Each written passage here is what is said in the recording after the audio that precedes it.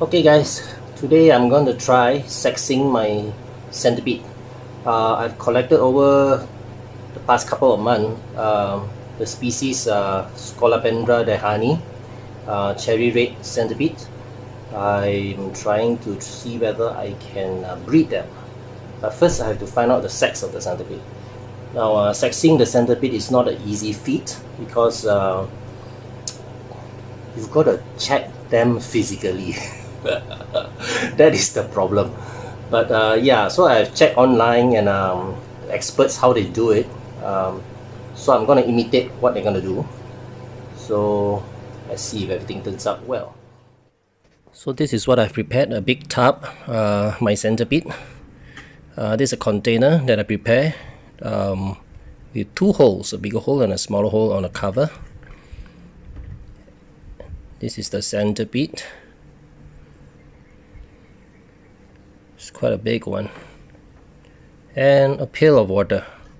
So now what I what I'm going to do is actually I'm going to drown the centipede because I have to knock the fella out first before I can check him physically or else I'm going to get bitten. Okay let's uh, jump into it. So first I need to catch the fella out and put into this container now there are two risks uh, every time when you want to sex your centipede. Number one is you may kill the centipede because when you drown it you may over you, may drown it too long in the water and it may just die. Second one if you don't drown it enough it'll turn around and bite you. And uh, centipedes are known to have the most one of the most painful bites. See how strong this fella is? He's fighting me. He doesn't want to come out at all. Maybe he knows what I was going I'm going to do. He's holding onto that piece of driftwood and he's pulling the whole thing up. Got it. Ah, good. So close up the container and submerge the container in the pail of water. So earlier I mentioned that the cover on the container have two holes. So one hole allows the air from inside the container to come out and that sucks the water into the container so it makes it easy to pour water in.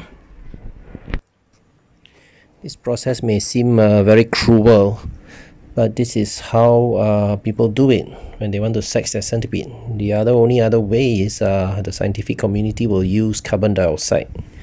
Uh, put the centipede in a bottle and pump carbon dioxide inside the bottle until the thing faint, which is the same thing actually.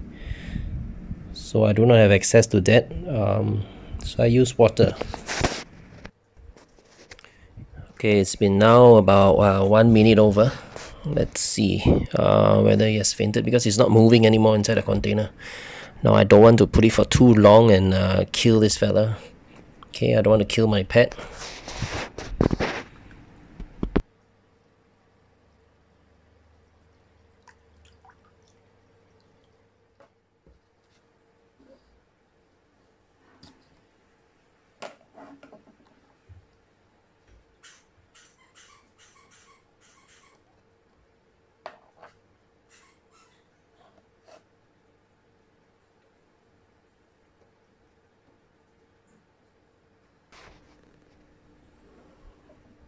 Okay. Look at my sweat. Mm. it's not fainted yet. I've uh, placed it back in the water for about another one minute over. So let's see. Seems not moving.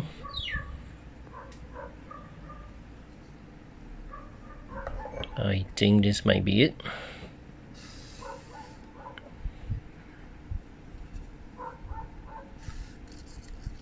So I need to uh, block the head in case he wakes up. That was a bit scary at one point. Whoa. Whoa okay okay okay. Okay no way. He's waking up he's waking up. Back in the water back in the water. So now it's been in the water for another three more minutes. And okay I'm testing it now by pressing on the body. Okay when I nudge that fella and the legs are moving means it's not fainted yet so I think this is a better way of uh, testing whether the fella is fainted rather than taking it out and there's a risk there. Okay, so it's been uh, inside there for another 3 minutes. I think this time around it is uh, fainted because uh, it's not moving anymore. Hopefully I didn't kill it. Okay, so now to uh, straightening it out. So I need to take precautions here. I need to put one tweezer at the head to stop it in case it wakes up and flips over and bite me. So I'll use the other tweezer.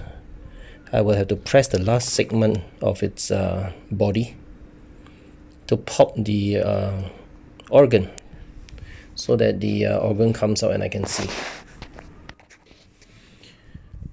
Let me try to uh, yeah switch on more light it will be clearer. Okay, you see it? You see it? The organ is out. I've popped the organ. So that looks like a female to me. Um, yeah. Okay, as you can see from these pictures from the internet, the males have two little tentacle things on the left and right called gonopods.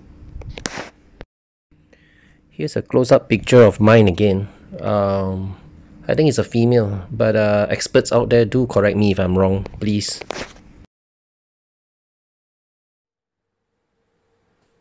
Now, since the fella is still fainted, he's waking up, but uh, this is my opportunity to actually measure the length of this uh, centipede.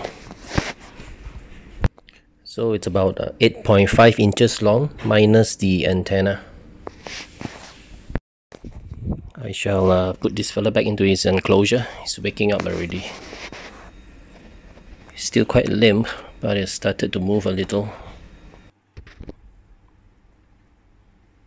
Can see the head is moving. Yeah, so he's slowly waking up.